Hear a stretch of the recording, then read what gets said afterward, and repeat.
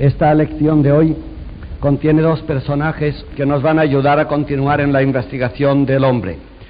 Carl Jaspers en la primera parte, que ya tenemos, y el segundo Ortega y Gasset, nuestro paisano. Para explicar la lección que estamos empezando, conviene recordar que este curso de antropología pretende dar unas claves de lectura sobre el hombre. Es difícil leer al hombre y sobre todo es difícil interpretarlo. Más difícil es cuando se trata de interpretarlo desde nosotros mismos, es decir, cuando la pregunta es de nosotros mismos, yo quién soy, y nos colocamos como espectadores, como actores. El peligro de perderse es inmediato, puesto que todos sabemos y hemos visto ya que muchos pensadores que nos llevan de la mano bastante bien, en ciertos momentos se pierden en la discusión o en el aclaramiento de quién es el hombre. Por esto hoy he escogido dos personajes, uno muy cercano a nosotros, por esto lo reservo para el final, cuando ustedes estén ya cansados, hablaremos de Ortega que nunca cansa. Y en cambio, en la primera parte, cuando están ustedes descansados, hablaremos de Jaspers, que suele cansar. También son ventajas y desventajas de ser hombres. Los hombres cansan y descansan. Y a veces cansan y no dejan descansar. Eh, Jaspers es uno de los que cansan. No tanto porque sea pesado, cuanto porque nos pone ante una realidad de nosotros mismos que es tremendamente comprometida. Por esto empiezo recordando para como aperitivo y para descargar los malos humores que después de lo que explicamos de Sartre, ustedes se acordarán que Sartre es un hombre muy negativo, pero que tiene la ventaja de ponernos eh, desnudamente delante del ser del hombre, un hombre que puede ser cruel consigo mismo y con los demás, mm, Sartre nos ha llevado a esta conclusión. Todo existente nace sin razón se prolonga por debilidad y muere por tropiezo.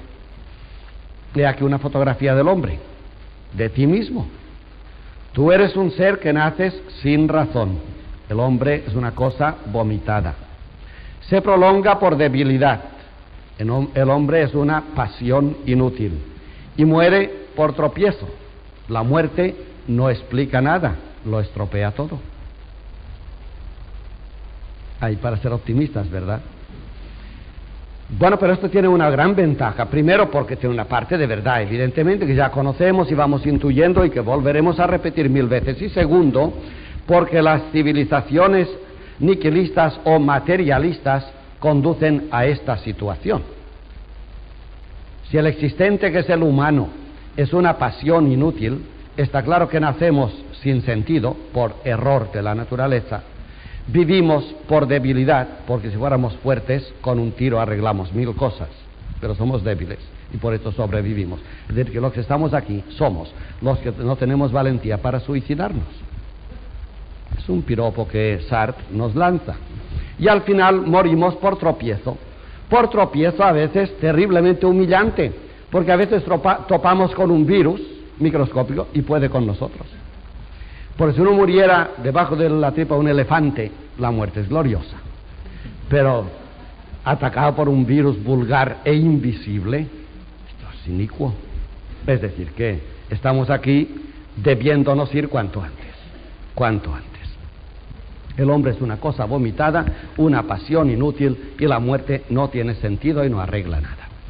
Digo que esto es tremendamente consecuente con el materialismo, por ejemplo. Ya saben que el materialismo ha estado de moda, todavía lo está, incluso en nosotros mismos, la sociedad de consumo es materialista y lleva a estas conclusiones. Por eso es bueno haberlas pasado, no tanto para que uno se quede con ellas y diga pesimísticamente el hombre es un ser sin sentido, una cosa vomitada, un escaparate de disparates, no tanto por esto cuanto por que sepamos a dónde puede llegar el hombre cuando piensa de sí mismo desde lo material. Es decir, cuando el hombre se extravía en sí mismo pensando que lo que ve de sí es lo que hay que ver. Lo hemos dicho mil veces y hemos de tener cuidado. Tenemos unos ojos hechos por la naturaleza que alcanzan a ver lo que la naturaleza ha querido que veamos cuando nos ha fabricado los ojos que tenemos. Hay mil cosas que ver que no se ven. ¿O no? ¿Ustedes ven América ahora? ¿Ustedes ven las galaxias a un millón de años luz ahora? Los otros sentidos lo tienen más claro. El oído oye lo que nos dejan oír. Por debajo del umbral de audición nuestra hay mil cosas que suenan perfectamente. Y por encima del umbral de audición hay mil cosas que suenan divinamente. El concierto de los espacios, por ejemplo, no captamos nada. El perfume, olemos, olemos a dos pasos. Y si no lo creen, lean a Suskind el perfume y verán ustedes lo que hay que oler. Es una novela célebre en dos días. Y es verdad, uno se puede orientar como el perro por el olor, nosotros no. Somos tremendamente torpes, es decir, que olemos lo que nos dejan oler de toda la gran tarta del universo, olemos alguna emanación fugaz una vez al año, no más. Es decir, que el hombre lo primero que ha de saber es que lo que percibe por las cinco ventanas de los sentidos y lo que retiene por la gran ventana de la memoria es lo que nos dejan retener. O como dice Lorenz, lo repito una vez más, la naturaleza nos ha fabricado los ojos y los oídos y el paladar y el olfato, pero lo ha fabricado para que nosotros nos movamos con estos sentidos por donde quiere la naturaleza. La naturaleza, el campo de hierba, la pradera, ha fabricado los pies del ciervo, ¿o no? Bueno, pues que estos pies del ciervo se empeñen en moverse como el delfín en el mar, a ver qué les pasará. Como el mar no ha fabricado los pies del ciervo, resulta que el ciervo del mar se muere. Y al revés, el mar a fuerza de millones de años ha hecho del delfín un aparato aerodinámico para moverse en el mar velocísimamente. Ponlo en una pradera el delfín.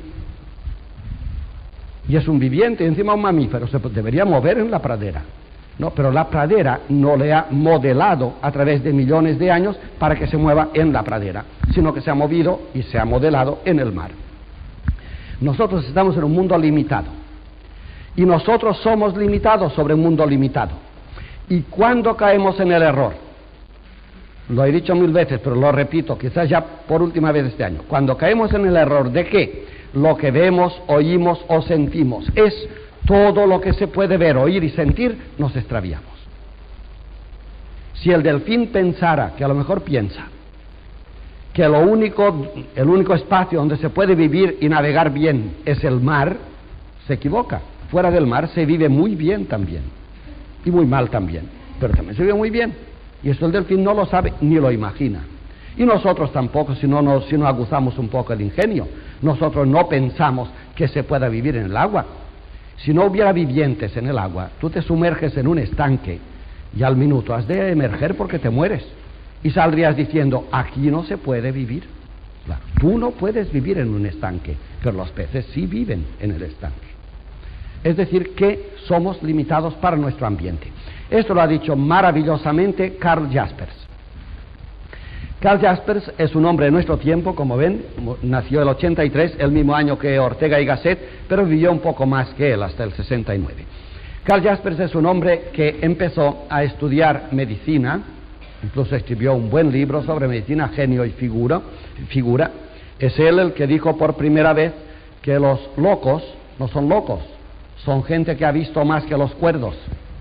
Consecuencia, que los cuerdos lo somos porque hemos visto poco. Puede ser muy bien. Podría ser que al hombre le estén vedados ciertas alturas, porque si se asoma a ellas atrevidamente, como Prometeo, por ejemplo, cuando vuelve, vuelve con sus estructuras desmontadas y viene loco. Puede ser, puede ser. Los tontos incluso puede ser que hayan tenido esto y eso no lo sabremos hasta la eternidad. Después de médico, mm, Jaspers siguió para abajo porque quería, o para arriba, quería investigar el seno del hombre y pensó que cuando tenía la clave del cuerpo del hombre debía buscar la clave del ser íntimo del hombre y se hizo psicólogo y después psiquiatra. Y al final su obra que él consideraba la mejor es una obra de historia, Vom Ursprung und Ziel der Geschichte, sobre el origen y la meta de la historia. Está traducido por Revista de Occidente, o sea, la revista de Ortega. Los que no lo hayan leído se lo aconsejo. Es un libro fácil de leer y es una buena y hermosa interpretación de la historia por un hombre que no es historiador, sino que es filósofo más bien, o viene del campo de la filosofía. Toda esta excursión que hace Jaspers desde la medicina a la psicología, a la psiquiatría y a la historia es un camino de investigación sobre el hombre. Los resultados pueden resumirse en lo que está en la pizarra. Vamos a verlos y repito una vez más. Lo que decimos aquí son pájaros que soltamos, cada uno que los ponga en su rama.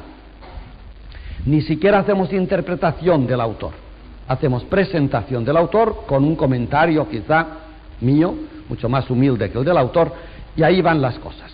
Son claves de interpretación y lectura del hombre.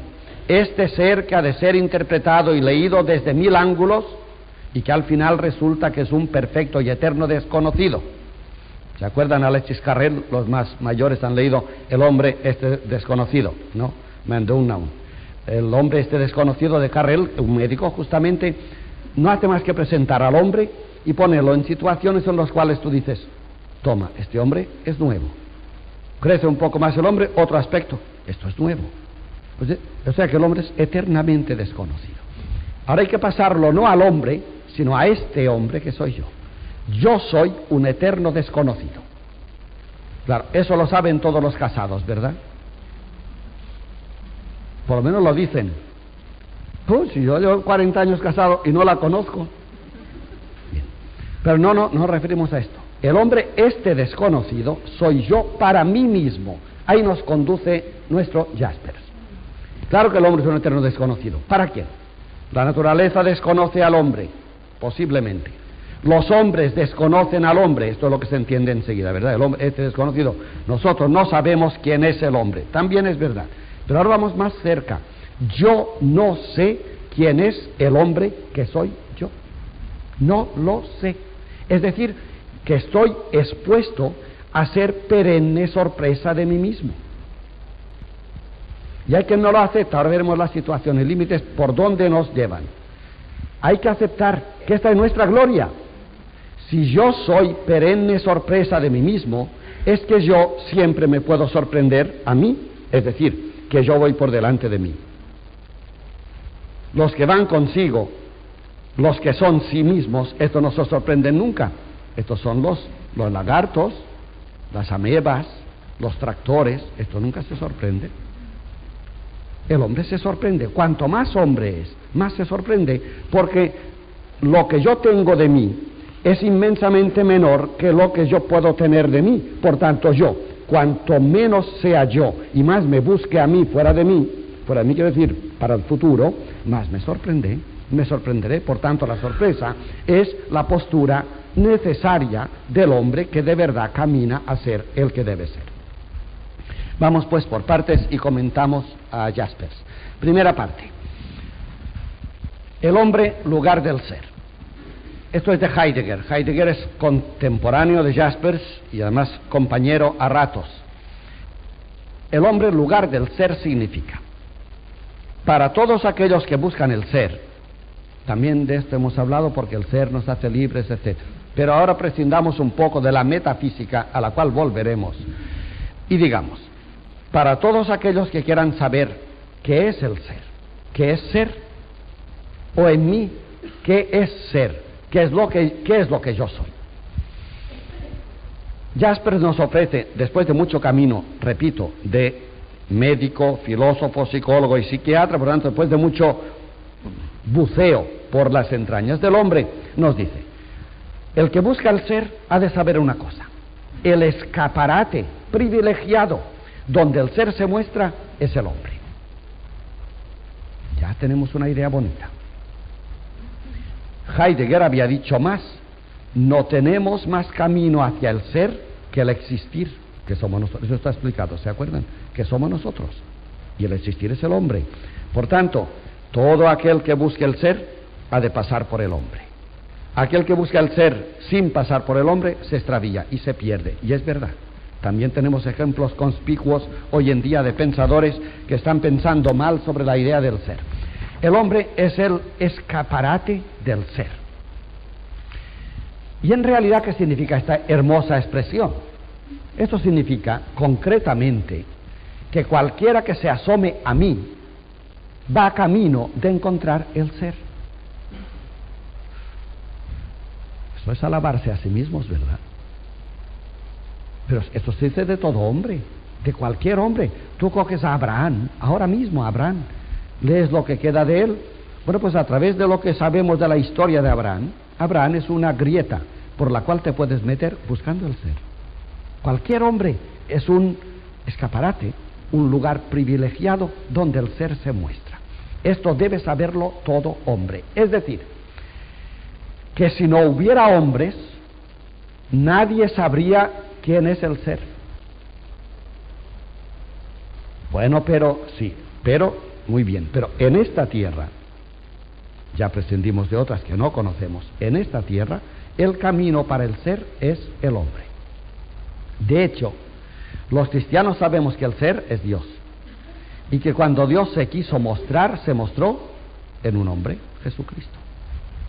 De manera que Heidegger y Jaspers, que como saben eran semicatólicos, sabían verdades de estas. El ser total es inasequible, está más allá de cualquier sentido. ¿Ven? El ojo no vio, el oído no oyó, no cupo en corazón de hombre. Esto es de San Pablo. Es una descripción negativa tal como las de hoy. Vemos lo que nos dejan ver, lo que es bueno que veamos. Pero aquel que ve más de lo que ve, de lo que le toca ver, se, se queda ciego, ya lo vio Sócrates. Si a ti te sacan después de 15 días de tinieblas al sol, te deslumbran, no ves. De tanto que ves, no ves. Luego, el hombre ve lo que le dejan ver, es decir, lo que es bueno que vea. Pero por encima de lo que ve hay mucho por ver. El ser está más allá de todos los sentidos. Y este ser sí se manifiesta, se manifiesta a través del hombre. Por tanto, la antropología es el camino inevitable y necesario para llegar a saber o a intuir lo que es el ser. Así pues, aquel que busca el ser, y esto es tarea del hombre, lo ha de encontrar en el escaparate abierto que es el hombre.